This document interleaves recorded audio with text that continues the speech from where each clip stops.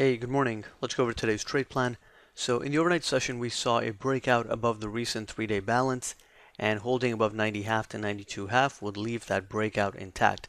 On the upside, we have resistance at 2103 to 2105 quarter, followed by the 2106 half high volume node, and then we have the all-time high and the resistance zone at 2108.75 to 2110.75.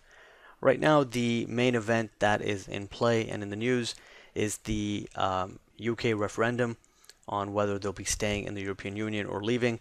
And uh, this overnight move uh, is news driven, so we do have to be careful, even though buyers are dominant and in control. We want to be cautious because there could be more news driven movement throughout the day.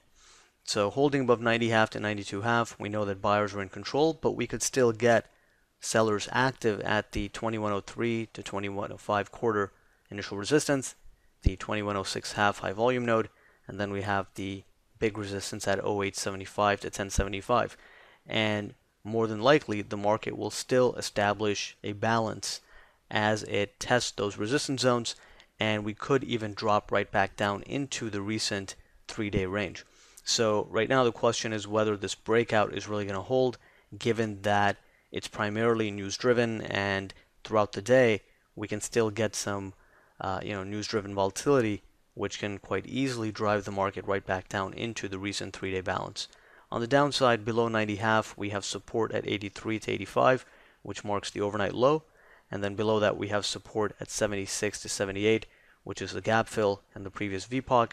And um, then finally, the recent three-day balance area low at 69 half to 71 half, which we're going to continue using as the bull bear zone, but you know, it's pretty far away, so it's not going to be as relevant uh, just yet.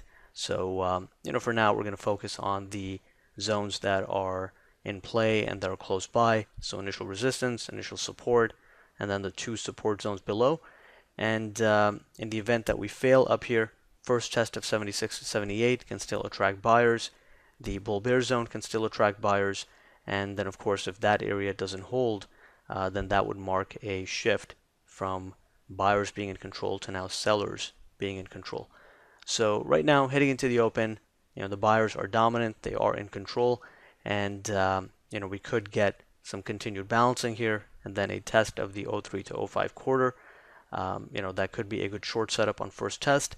0650 high volume node is a good spot where sellers can be active, and then the market can continue to balance within a range. The final votes for the uh, referendum aren't really going to be in until uh, later on tonight.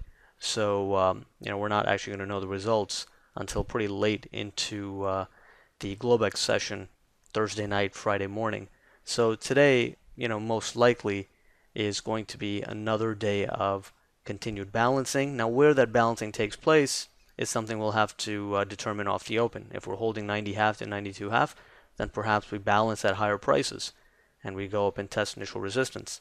If we fail at 90 half to 92 half, you know, then we can balance in the recent range, and um, uh, you know, at that point, again, the market would be left range bound, and then once the results are in, we can probably get some, you know, some better volatility and directional movement. But like I said, that's not going to happen until um, later on tonight and early Friday morning.